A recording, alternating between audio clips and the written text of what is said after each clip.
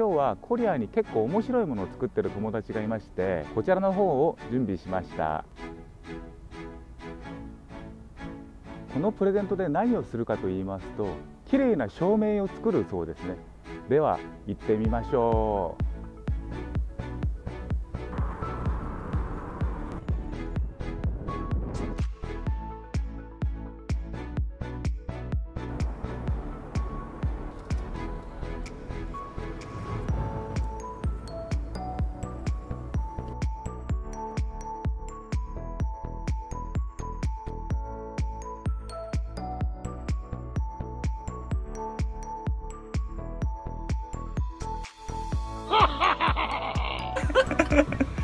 これね海外いろんなとこから集めてきたものやからなそうですねうんこれ本当感謝ですねこれはこれ韓国こういう缶ないんで結構可愛くてね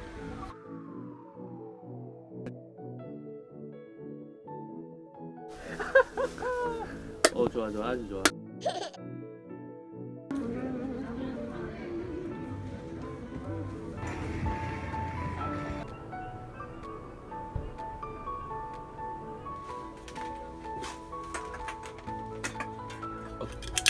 になかなか入らないんでこれは。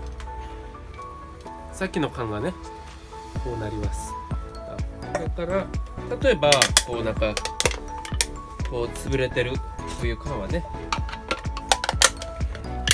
こうこう全部一つずつね。これが、えっと、ハンドメイドとアップサイクリングのコンセプトやっぱアップサイクリングっていうのは使えないやつをまあゴミですね。うん。ゴミをこういう風になんか再生してこんな感じになります。おこれがさっきの水曜日の猫。僕天才的な照明デザイナーなんでこれこんな感じですね。この照明の名前って何ですか？これは体のすべてが青函台って。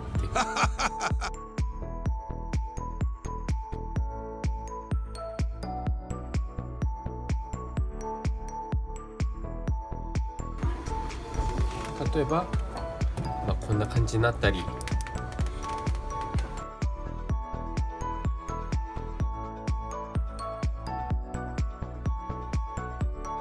そうですね。基本的哲学的な答えだったらまあ生まれてからなんですけれども。生まれてから？そうですね。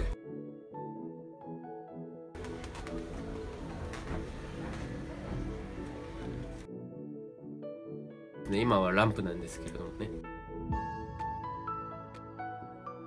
こうユニークなそういうのを作りたいなっていうずっと思ってますね、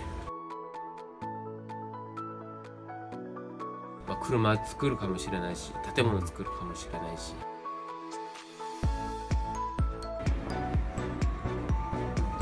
じゃあありがとうございました。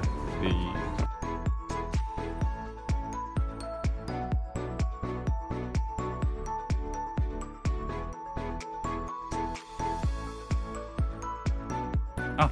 秘密なんでこっからは営業秘密なんだ。日本だったらねこれ普通にコンビニとかで売ってるものだから。そうですね